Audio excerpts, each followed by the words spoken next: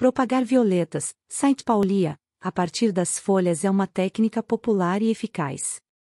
Aqui está um guia passo a passo sobre como fazer mudas de violeta pelas folhas e os cuidados necessários.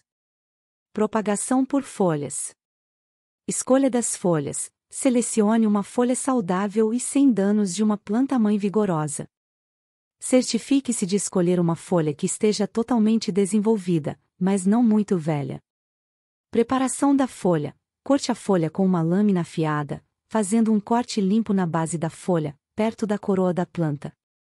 Preparação do recipiente. Encha um pequeno vaso ou bandeja de mudas com uma mistura leve e bem drenada, como turfa ou substrato para mudas. Plantio da folha. Insira a base da folha na mistura de solo, certificando-se de que esteja firmemente no lugar, mas não enterrada muito profundamente. Umidade e cobertura. Coloque o vaso ou bandeja em um local com luz indireta brilhante e mantenha o solo uniformemente úmido, mas não encharcado. Você pode cobrir a bandeja com plástico transparente ou uma cúpula para manter a umidade alta.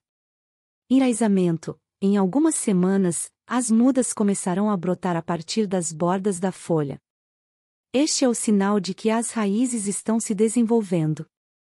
Transplante. Quando as mudas desenvolverem raízes suficientes e começarem a crescer, você pode transplantá-las para vasos individuais com solo para violetas adultas.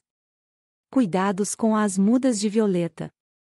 Luz. As mudas de violeta precisam de luz indireta brilhante para crescerem saudáveis. Evite a luz solar direta, pois pode queimar as folhas delicadas.